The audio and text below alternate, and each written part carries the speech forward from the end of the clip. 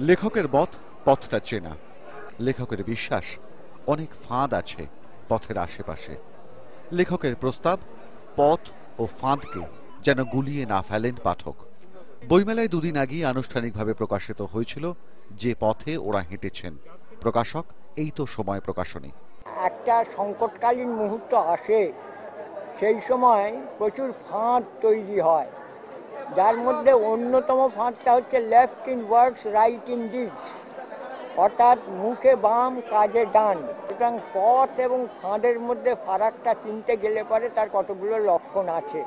যৌবন কেটেছে নকশাল আন্দোলনের আগুনে যৌবন কেটেছে কারান্তরালে ভুল হয়েছিল কিংবা ঠিক হচ্ছে না সেই বিতর্ককেও পেরিয়ে এসেছেন অনেক দিন।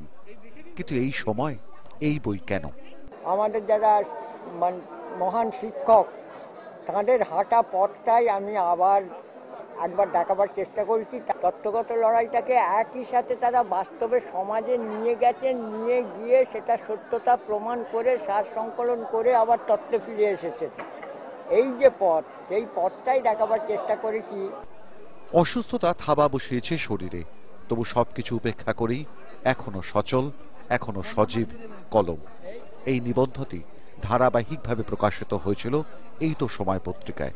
যে যে বাচ্চা ছেলেগুলোর জন্য লেখা হ্যাঁ বিশেষ করে আঠেরো থেকে পঁচিশ, তারা যদি গ্রহণ করেন সব থেকে বেশি খুশি হব, বর্জন করলেও খুশি হব, অন্ততপক্ষে তাদের হাতে পড়লে পারেই আমি খুশি হব।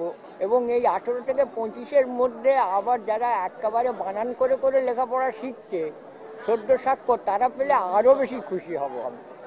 এবং আশ্চর্যজনকভাবে, সেই আঠেরো থেকে পঁচিশে ঘিরে রয়েছে বইমেলায় টেবিল স্পেসটুকু। কোন পথে তারা হাঁটবেন, সেটা নিজেরাই ঠিক করে নিচ্ছেন। অভিজিৎ দাসের সঙ্গে প্রদীপ ভট্টাচার্য আকাশ বার্তা